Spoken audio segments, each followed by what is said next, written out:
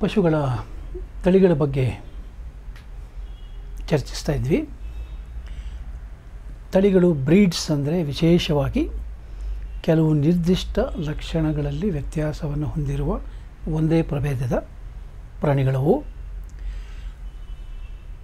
ಉದಾಹರಣೆಗೆ ದೇಹದ ಗಾತ್ರದಲ್ಲಿ ವ್ಯತ್ಯಾಸ ಇರ್ಬೋದು, ಅಥವಾ ಒಟ್ಟಾರೆ ಅವುಗಳ ಲಕ್ಷಣಗಳಲ್ಲಿ ವ್ಯತ್ಯಾಸ ಇರ್ಬೋದು, ಅಥವಾ ಕೊಂಬಿನ ವಿನ್ಯಾಸದಲ್ಲಿ ವ್ಯತ್ಯಾಸ ಇರ್ಬೋದು. ಈ ವ್ಯತ್ಯಾಸಗಳ ಆಧಾರದ ಮೇಲೆ ಬೇರೆ ಬೇರೆ ತಳಿಗಳನ್ನು ಗುರುತಿಸಲಾಗುತ್ತೆ. ನಾವಾಗಲೇ ನೋಡಿದ ಹಾಗೆ ಹಸುಗಳಲ್ಲಿ ಮೂರು ಬಗೆಯ ತಳಿಗಳನ್ನು ಗುರುತಿಸಲಾಗಿದೆ. Milch breeds, very high milk yield, ಅತಿ ಹೆಚ್ಚು ಪ್ರಮಾಣದ ಹಾಲಿನ ಇಳುವರಿ ಕೊಡುವಂಥ ತಳಿಗಳು. ಉದಾಹರಣೆಗೆ ಸಿಂಧಿ ಮತ್ತು ದೆವೋನಿ ನಮ್ಮ ದೇಶದಲ್ಲಿ ಡ್ರಾಟ್ ಬ್ರೀಡ್ಸ್, ಕಡಿಮೆ ಹಾಲಿನ ಇಳುವರಿ, ಆದರೆ ಎತ್ತುಗಳು ಬಲಿಷ್ಠವಾಗಿರೋದರಿಂದ ವ್ಯವಸಾಯ, ಸಾಗಾಣಿಕೆ ಮುಂತಾದ ಕ್ಷೇತ್ರದಲ್ಲಿ ಹೆಚ್ಚು ಬಳಕೆ ಆಗ್ತಾ ಇರುವಂಥ ತಳಿಗಳು.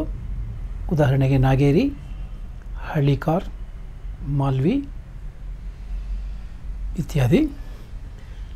ಡ್ಯುಯಲ್ ಪರ್ಪಸ್ ಬ್ರೀಡ್ಸ್ ಈ ಎರಡೂ ಉದ್ದೇಶಗಳಿಗೆ ಬಳಕೆಯಾಗುವಂಥ ತಳಿಗಳು ಆ್ಯಾವರೇಜ್ ಮಿಲ್ಕ್ ಈಲ್ಡ್ ಸ್ವಲ್ಪ ಜಾಸ್ತಿ, ಇಲ್ಲಿಗಿಂತ ಜಾಸ್ತಿ, ಇಲ್ಲಿಗಿಂತ ಕಮ್ಮಿ also used for other purposes ಬೇರೆ ಸಾಗಾಣಿಕೆ ಇತ್ಯಾದಿ. ಉದಾಹರಣೆಗೆ ಕಾಂಕ್ರೇಜ್ ಮತ್ತು ಓಂಕೋಲ್. ಹಾಗೆಯೇ ಎಮ್ಮೆಗಳ ಕೆಲವು ಪರಿಚಿತ ತಳಿಗಳು ಅಂತಂದರೆ ನಾಗ್ಪುರಿ ಮೆಹಸಾನ ಮತ್ತು ಸೂರ್ತಿ. ಇದಲ್ಲದೆ ವಿದೇಶಗಳಿಂದ ತರಿಸಲಾದಂಥ ಕೆಲವು ತಳಿಗಳನ್ನು ಇವತ್ತು ಈ ಕ್ಷೇತ್ರದಲ್ಲಿ ಬಳಸಲಾಗ್ತಾ ಇದೆ.